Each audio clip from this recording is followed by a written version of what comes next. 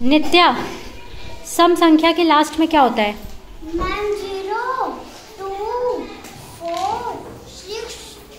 Very good और विषम के? Ma'am one three five seven nine very good अच्छा हमने एक चीज़ और बताई है। जो सम संख्या होती है वो वो कैसी संख्या होती है? कौन वाली संख्या होती है? दोस्त वाली। कौन सी संख्या होती है? बताया है ना?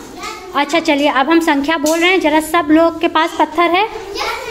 अब जैसे दिया है वन सिक्स सिक्सटीन तो आखिरी में क्या है? सिक्स है। देखो, दोस्त है कि नहीं है? सिक्स पत्थर निकालो सब लोग।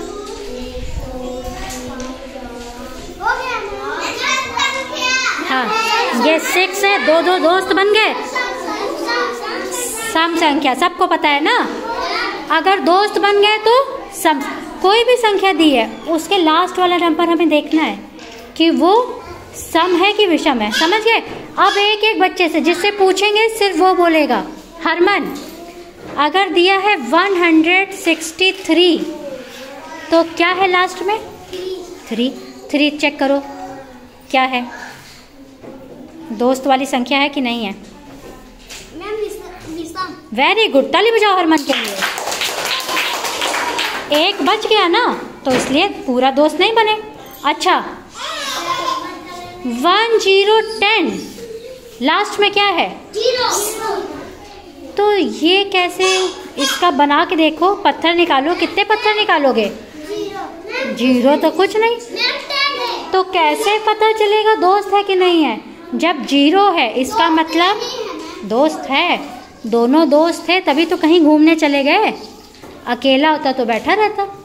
तो जिसके लास्ट में ज़ीरो है, वो भी क्या है? दोस्त वाले हैं। यानी कौन सी संख्या है? सम। समझ गए? चलो, प्रिया। 257 लास्ट में क्या आया? हाँ। अब कोई नहीं बोलेगा। सिर्फ़ प्रिया बताएगी कि ये सम है कि विषम है। बाकी लोग भी करके देखते रहिए अपनी अपनी टेबल पर। करके देखते रहिए। 257 सेवन करिए। विषम वेरी गुड प्रिया के लिए क्लैप करो. बहुत अच्छा बहुत अच्छा. चलो, अनमोल. 191 वन वन हाँ तो ये क्या? दोस्त नहीं बना तो क्या है ये? वेरी गुड क्लैप करो अनमोल के लिए. सभी को समझ आ गया है ना? अभी हम प्रैक्टिस के लिए ऐसे ही और संख्या बोल रहे हैं. अब बताएँगे सब लोग.